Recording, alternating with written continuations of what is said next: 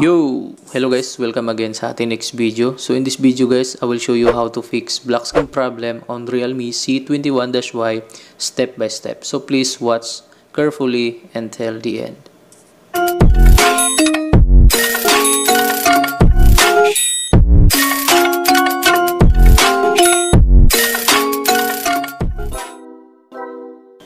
So before we start guys, check muna natin yung current version na ginagamit ko. So para i-check siya guys, pasok lang tayo sa settings and then sa about phone. So dito sa about phone guys, select lang natin yung baseband and kernel. Ayan, so makikita nyo, E.53 pa yung gamit kong version. So yung E53 guys, kapag papasok kayo dito sa display, yan. So kapag papasok tayo dyan guys, and then select natin yung color and contrast, So kapag na-select natin yan guys, yan, and then yung standard, automatic na nagba-black screen yung ating unit. So ayan guys, ulitin ko lang ulit, yan, black screen ulit siya. So ibig sabihin guys, meron pa siyang bugs o problem yung ating software. So para ma-fix to guys, need natin siyang i-reprogram. Pero bago natin siya ma-reprogram guys, need muna natin siyang i-turn off. So ang next step nito guys is dapat nating baklasin o i-disassemble yung ating unit. So panoorin nyo lang mabuti guys dahil papakita ko sa inyo step by step kung paano.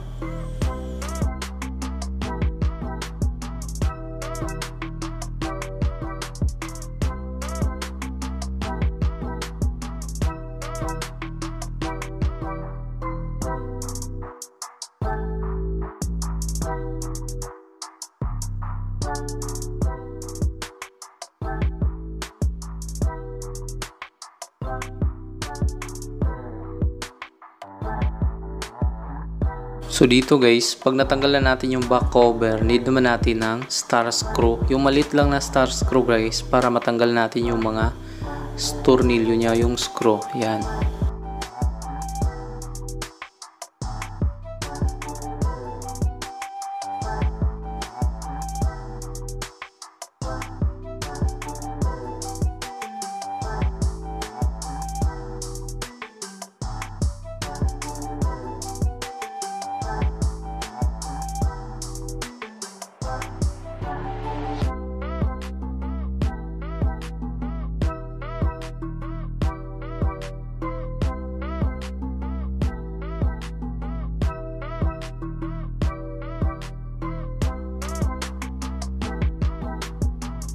So dito guys, natanggal na natin yung back cover ng mainboard. So ang next step naman natin gagawin guys is i-disconnect natin yung battery connector ng battery para ma-make sure nating naka-turn off yung ating unit.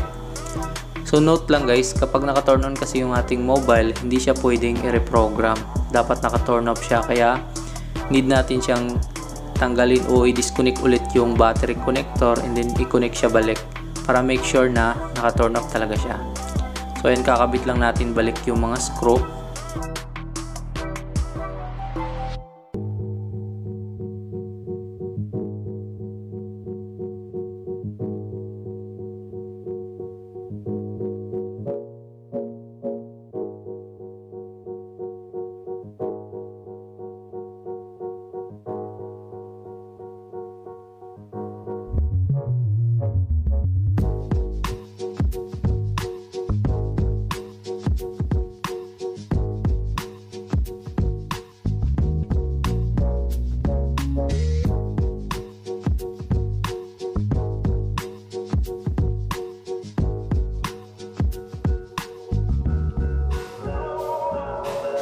So ayun guys, na-assemble na natin yung ating unit. So ang next step naman natin gagawin guys is need natin siyang i-reprogram.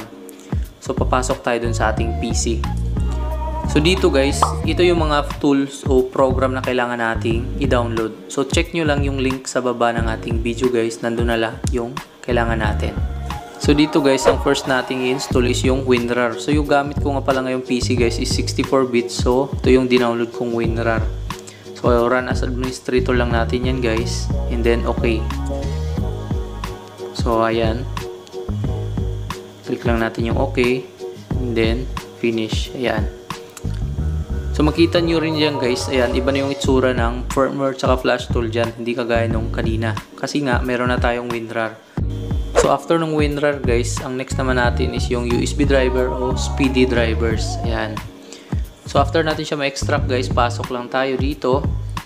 And then pasok tayo sa Windows 10 kasi Windows 10 yung gamit ko guys. And then hanapin nyo lang yung 64-bit kasi 64-bit support yung aking Windows na ginagamit. So ayan guys, select lang natin yung finish. So ayan guys, success na yung installation natin sa USB driver. So next step naman natin is yung flash tool. Ayan. So right click lang din natin, extract.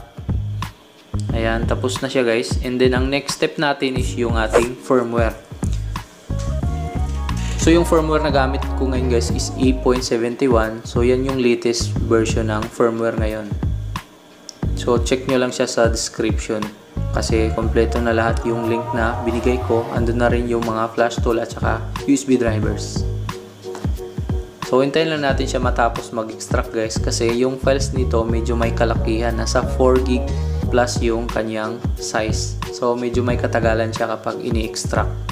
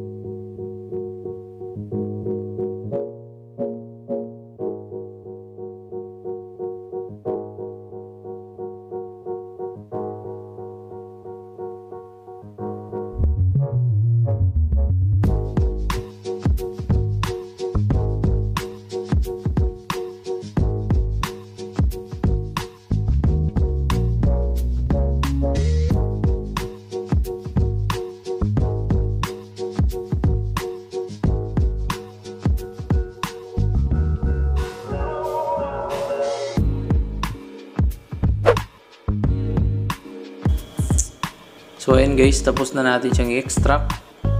So ang next step natin dyan guys is dun tayo sa ating flash tool. Yan. So dito sa ating flash tool guys, hanapin lang natin yung kulay green na icon, yung upgraded tools. Yan. So tap lang natin yung settings. So yung sa akin guys, nasa desktop. So select lang natin yung desktop. And then, ayan guys. Kita nyo dyan, pasok lang kayo dyan. And then yung pasok kayo dun sa may 8.71. Ayan. So, dyan nakalagay yung ating firmware guys. Select lang natin yon And then, dito guys, hintayin lang natin siyang matapos mag-load. So, dito naman guys, medyo may katagalan siya kasi malaki nga yung files. Kaya, hintayin lang natin siya matapos. So, advice ko rin guys, wag yung basta-basta skip yung video na to or i-forward para hindi kayo magkamali sa mga next step na gagawin natin. So, panoorin nyo lang mabuti guys.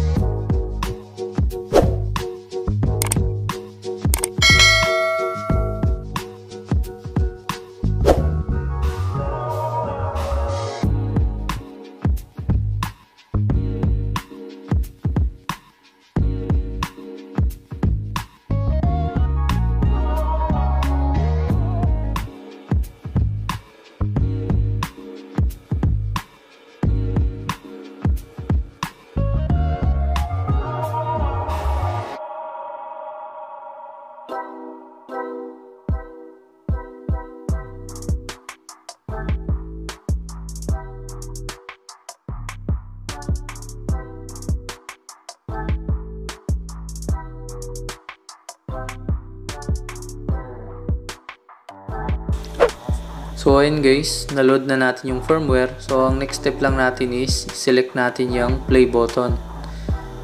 Ayan, pag na-click nyo na yan guys, next net yung gagawin is punta na kayo sa inyong Realme C21Y and then connect nyo na siya sa USB cable. So dito guys, bago nyo siya i-connect sa USB cable is need mo na nating i-press yung volume up tsaka volume down ng sabay. So ayan. So press nyo lang yung dalawang buttons guys bago nyo siya i-connect o isalpa ka ng USB cable. So ayan. So, pag na-detect na siya guys, pwede nyo na siyang bitawan and then hintayin lang nating may lalabas na pass. Kasi pag pass na yung lumabas sa flash tool guys, ibig sabihin nun, tapos na yung reprogram natin. So, dito naman guys, minsan umabot siya ng mga 10 minutes. So, hintayin lang natin siyang matapos.